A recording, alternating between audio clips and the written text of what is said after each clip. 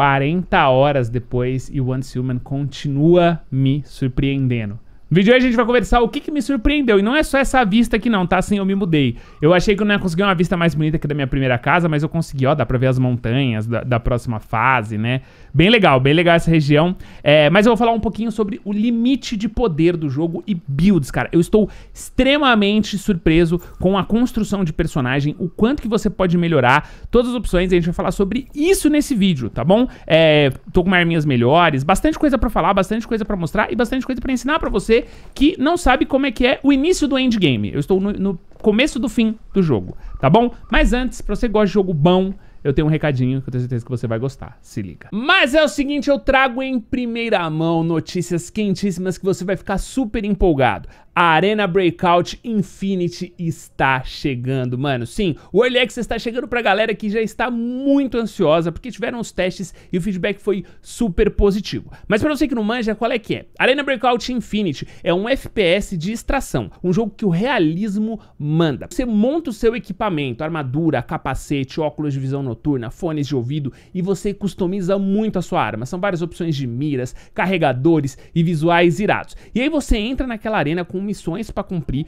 mas com muito loot para pegar. Sim, o seu objetivo ali é conseguir suprimentos, armas e equipamentos para ficar mais forte. Só que o desafio é intenso, mano, porque se você morre, você perde tudo que você tá carregando. Então é um jogo que você tem que apostar muito para sair com recompensas ainda melhores. A jogabilidade do jogo tá excelente e se você quiser fazer parte do Early Access, eu vou deixar um link no topo da descrição. Você clica ali, se cadastra para poder jogar ele assim que ele chegar e já sair um pouquinho na frente da galera, né? Já vai manjar das táticas, da sua movimentação, das melhores armas, né? Então tem que participar aí do Early Access, certo? Eu vou jogar, vou trazer bastante conteúdo aqui no canal. Então eu espero que vocês estejam super empolgados para a Arena Breakout Infinite. Eu não vejo a hora de jogar, tinha gente já me cobrando de jogar, mas eu tava esperando esse Early Access, porque agora o bagulho vai ser louco, hein? Então vambora! Direto na Steam, Arena Breakout Infinity, jogaço, vamos se trombar. Só que fica ligeiro, que se me trombar, eu vou sair com o seu loot, hein? Vixe!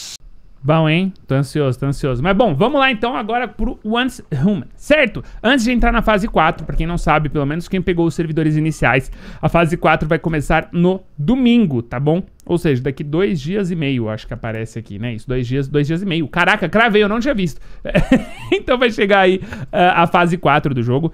E qual que é o negócio? Eu cheguei no início do end... Do, do, o início do fim do jogo, é isso mesmo, início do endgame. Por que início do endgame? Eu ainda tenho algumas coisas pra fazer, tá? Então, no caso aqui, uh, deixa eu abrir minhas, minhas tasks aqui, né? Então, eu ainda tenho essas missões de nível 50, né? Uh, e eu, no vídeo de hoje de manhã, eu comentei que, né? A princípio, o jogo era fácil. Eu esperava um pouco mais de dificuldade, mas eu só ia começar a fazer a minha build, porque, pô, é legal. A construção de personagem eu já, eu já vi que era legal, mas, mano, ela é muito melhor do que eu esperava. E aí o pessoal nos meus vídeos da manhã, se você não viu, vai lá dar uma olhada depois, comentou, Patife, o jogo escala muita dificuldade. Ih, rapaz, não carregou... Ah, não, carregou sim. O jogo escala muita dificuldade. Ah, essa janela aqui ficou legal também, ó. Ah, dessa aqui também tá legal, ó. Você é louco, mano, a casa tá top. É... e o pessoal falou, Patife, o jogo fica muito difícil, assim. Você chega até, tipo, dar um tiro de 25 mil de, dano e não rela na vida dos inimigos, né? Então eu decidi dar uma olhadinha nisso aí uh, e entender algumas necessidades de build. Então eu vou mostrar pra vocês algumas coisas que eu já entendi. Não entendi tudo ainda, então o pessoal tá falando, ah, faz vídeo build. Ainda não tô pronto pra isso, é, mas eu acho que em breve talvez eu esteja pronto uh, e role fazer. Porque eu, por exemplo, já tenho uma build, tá? A minha primeira build do jogo já vai ser essa aqui. Bom, vamos começar então abrindo a minha aba de inventário. Uh, e aí a parada é a seguinte, né? Eu consegui uma arma dourada fazendo a Wish Machine, né? Isso é um negócio que, mano, no final das contas, é uma baita mecânica maneira, né? Então, se você não tá ligado como é que é o, o corre, você vem nessa maquininha aqui, ó, você constrói ela dentro da sua base, né? Tem lugar, tem fora também, você pode usar ela e você pode jogar esse joguinho aqui, é, custando aquela moedinha lá, né? O Starcron, que é uma moedinha que não é tão fácil, é aquela moedinha que tá ali em cima que eu tô passando o mouse, tá vendo? Uh, e aí cada tapa você usa acho que é 400 ou 500 de Starcron, assim, é bastante Starcron, quer ver? Ó, deixa eu ver, nesse aqui talvez seja menos, não, nem dá, ó. Até mais, eu acho que é 400 ou 500 Starcron por cada tapa que você dá, e você fica correndo atrás dessas peças que aparecem aqui no canto, né? Então, é, eu consegui aí a última recompensa, né? Que é a arma. Então, eu já vou parar de jogar esse aqui e agora é, eu vou parar de jogar isso aqui, inclusive, é, essa paradinha. Por quê? Se você apertar G, você vai pra Blueprint Shop. Então, você não precisa ficar jogando na sorte, né? E uma das coisas que eu quero fazer é a Renegade... É a Renegade? É... Ixi, acho que é a Renegade, eu não lembro. É a luvinha Renegade? Eu acho que é a luvinha Renegade. É isso mesmo, ó. Que aí com essa luvinha, e aí aqui é que vem a parte da build, tá? Uh, aqui, como vocês podem ver na tela, aparece o número de peças que você monta. E se eu pegar a Renegade, essa luvinha, eu já tenho o sapato Renegade, né? Eu já tenho esse aqui. Uh, e com a luvinha vai ser o meu segundo item. Aí eu vou dar bônus de dano em pontos fracos, né? Então, os tiros, os tiros que pegam em pontos fracos, tipo cabeça ou naquelas bolhas que alguns inimigos têm, vai me dar mais 10%. Mas não é só isso, né? Obviamente que isso é só a parte básica da build, né? Eu já construí aqui a build do Falcon, né? Então, como vocês podem ver ali, ó, todos os itenzinhos que estão verdes é porque fazem parte desse set. Então, eu tenho quatro itens de um set. Isso é muito legal, porque com quatro itens de um set, você já fecha a build inicial, né? Então, agora, minha estamina custa 20% a menos, o meu dano crítico já está com mais 12%, é, depois que a estamina está acima de 90%, melhora o dano crítico em 5%, uh, e a estamina máxima tem mais 25 e recupera 30%, 30 de estamina a cada kill instantânea. Então, eu tô muito rápido, eu me movimento muito mais, eu atiro muito mais, né? Uh, aí você também, e aí vai ser a hora que vai entrar aqui também com o Renegade e vai dar bônus em pontos fracos, né? Já minhas armas, né? A arma você também tem isso aqui, tá? E outra coisa muito legal também é que você tem, obviamente, toda a parte de acessórios, né? Então, eu tô doido pra pegar esse mag aqui, né? Isso aqui aumenta a velocidade de reload da minha sniper, que aliás tá linda, né?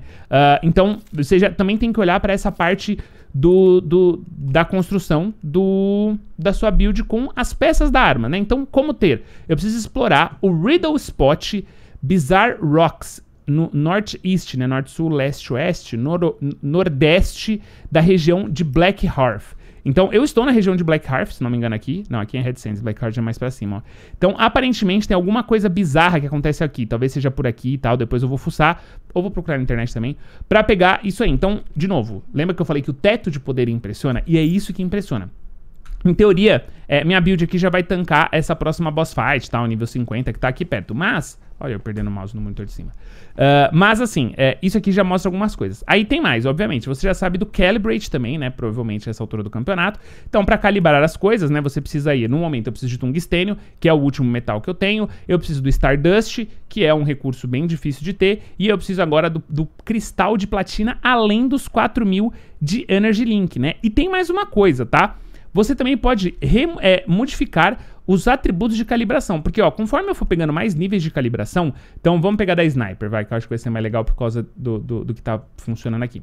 Quando eu bater mais 7 de calibração com a Sniper, é, o meu dano em pontos fracos vai ganhar mais 6%. E mais 10 eu ganho uma taxa de crítico de 4%. Mas, além disso, você tem essas blueprints que você consegue encaixar e mudar isso. Ou seja, é, por exemplo, eu posso colocar essa blueprint e aí vai mudar para o estilo de tiro rápido, ou seja, eu vou ter mais 30% de velocidade no tiro, mais 37,5% de velocidade de recarga, porém menos 7,5% de ataque, né? E aí, no nível 7 e no nível 10, eu ganho bônus de Wixpoth. Eu já adorei isso aqui, tá? Mas tem outro, também posso mudar isso aqui para colocar o modo estabilizante, mais, com mais estabilização, com mais dano elemental. Uh, olha que loucura, cara. E assim, é infinito a quantidade de possibilidades que você tem nisso. Eu não sabia que existia isso aqui, tá? Eu aprendi hoje à tarde também. Loucura, né? Então provavelmente eu devo colocar isso aqui para tentar essa build monstruosa aqui de calibration e rapidez, né? Porque já é onde eu tô concentrando meu dano.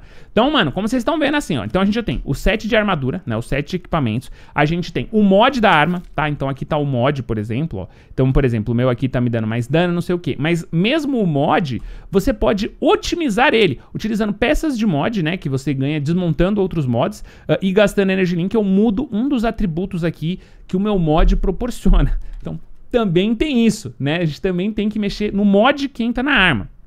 Mais legal, tudo isso de graça, tá? Não tem que pagar por nada disso, né? E obviamente que tem, além de tudo, a parte de cosméticos que também tá muito bonitinha, né? Vou colocar minha abelhinha ali, né? Que entra irado no modo primeira pessoa, né? Então, ó. Eu, opa. Olha a minha abelhinha ali, ó. Hã? Vai tirando, ó. Ô, oh, caramba, eu sempre... Aqui, ó. Ó. Cê é louco, filho. Ah, Dragon Lord do Patifão. Tá maluco? então, assim, já é muito legal. O que mais a gente tem que ver aqui de... Ah, é. Fora aqui tem os blueprints, né? Então, por exemplo, eu tô aqui com o blueprint da minha sniperzinha, né? Então ela já tá nível 2, como vocês podem ver ali, né? Então ela, eu já monto ela, tier, ela, eu já monto ela tier 5 e ela tá com duas estrelinhas a mais ali. Mas você pode pegar outros blueprints que você tem repetido e somar no XP da arma, que aí você melhora o nível do blueprint. E lembrando, o blueprint não wipa, né? Então o blueprint, a ideia dessa primeira season é você ter pelo menos uma ou duas armas que o seu blueprint esteja no nível máximo, tá? Principalmente se for alguma douradinha, alguma arma muito nervosa, tipo essa aqui, ó.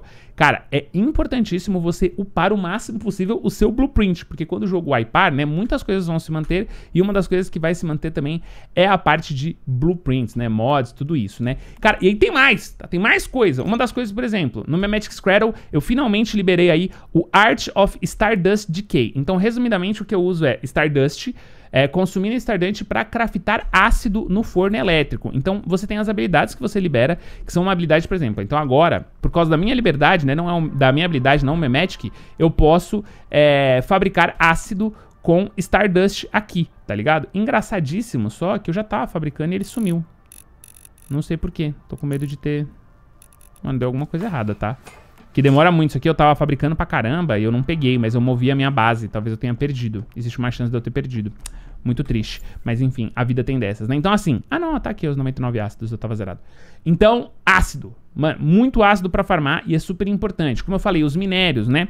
E aí, cara, e aí, obviamente, também a gente tem o Cradle, né? Então, o Cradle também é uma questão de montagem de habilidades. Essa é a hora que eles pegaram mais leve, né? Então, quando você pegar aí os últimos níveis nas próximas fases, a gente vai conseguir pegar isso aqui, né? E como eu falei, tipo, eu já tô mirando no próximo item agora. Uh, o farming continua, né? E aí eu tô numa região aqui também, deixa eu mostrar pra vocês um negócio bem legal, né? Agora eu tô farmando muito rápido, por exemplo, o tungstênio, né? Porque eu fiz a, a broca elétrica lá pra farmar, né?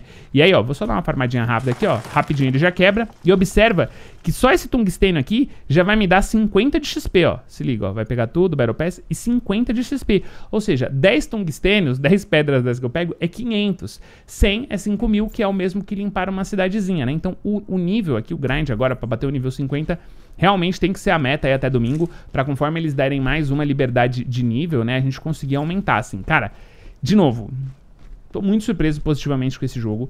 É, muitas pessoas falaram do, desse, desse conteúdo de builds que vocês querem. É, eu não sei se eu consigo, tá? Porque realmente, assim, existe um. um, um e agora que, tá, tá, que eu tô mais familiarizado com as mecânicas, eu vejo o tempo que você precisa para montar uma build correta, né? E de novo, não tem pay to win, não tem nenhuma coisa que o dinheiro facilite. Eu, eu pagaria, velho. Eu pagaria esse pay to win pra ficar forte. Que medo, né? Eu não posso nem falar isso muito alto, vai que os caras decidem mudar alguma coisa.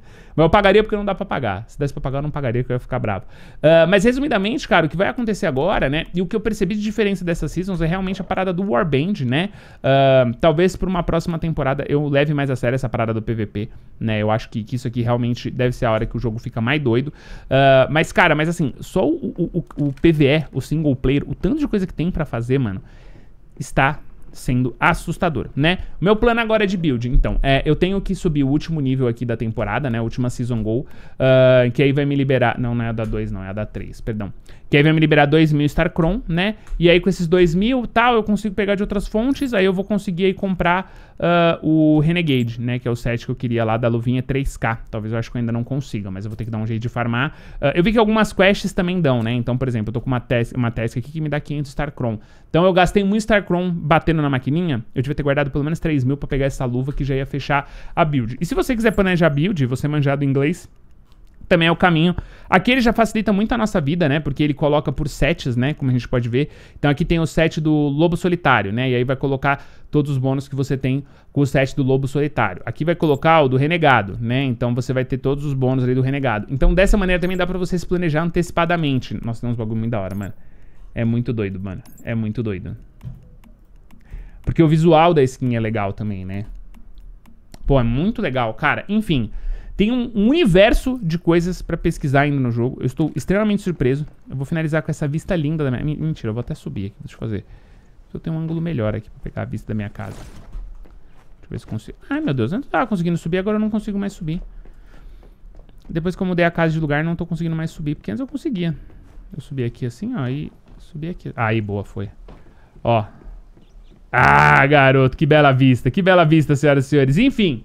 Jogaço, tá? Jogaço. Tô muito feliz com esse jogo. O pessoal não entendeu a piadinha do meu vídeo matinal.